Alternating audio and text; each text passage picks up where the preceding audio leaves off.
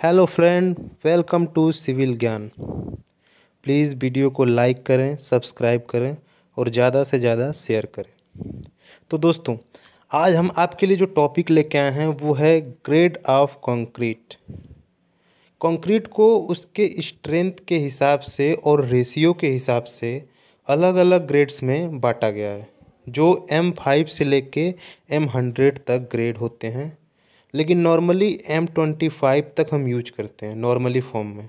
M twenty five के ऊपर जो जाता है, वो एक स्पेशल केस होता है और इस स्पेशल केस के सिचुएशन में हम उस कंक्रीट को डिज़ाइन करते हैं, उसके स्ट्रेंथ के हिसाब से उसके रेशियो को डिज़ाइन करते हैं और तब जाके एम ट्वेंटी फाइव के बाद जो भी हम यूज़ करते हैं, वो डिज़ाइन फॉर्म में यूज़ करते हैं।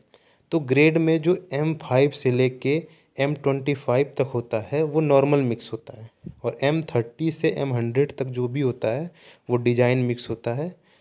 वो नॉर्मली हम यूज़ नहीं करते, वो डिज़ाइन मिक्स होता है। चलिए तो समझते हैं, आखिर ये M five M ten M fifty M twenty M twenty five जो भी है, वो क्या होता है? तो एम जो होता है, वो मिक्सचर को शो करता है।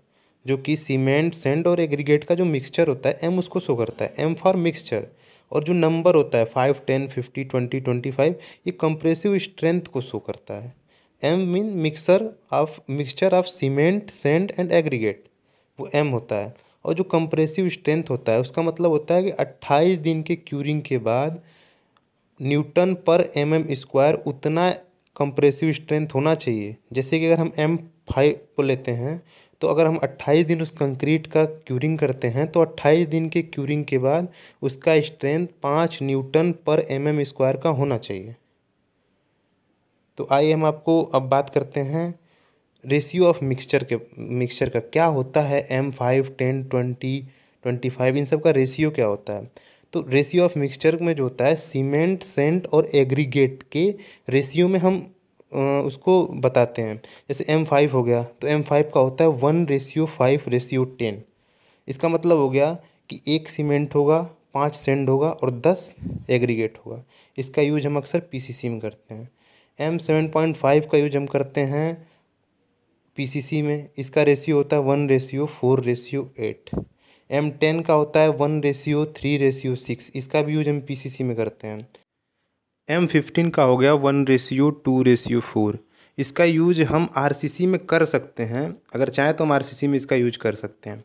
एम ट्वेंटी को हो गया one ratio one point five ratio three इसका यूज़ अक्सर हम आरसीसी में करते हैं और ज़्यादातर एम ट्वेंटी का ही यूज़ होता है। R C C trimix flooring column beam slab हर जगह इसका यूज़ होता है। और एम ट्वेंटी फाइव सबसे स्टैंडर्ड ग्रेड होता है। इसका यूज़ भी हर जगह आर सी सी में, जहाँ भी रेनफोर्समेंट होता है, इसका यूज़ बड़े आसानी से हम कर सकते हैं। तो ये था आपका ग्रेड्स ऑफ़ कंक्रीट ये वीडियो आपको कैसी लगी प्लीज़ कमेंट सेक्शन में बताइए।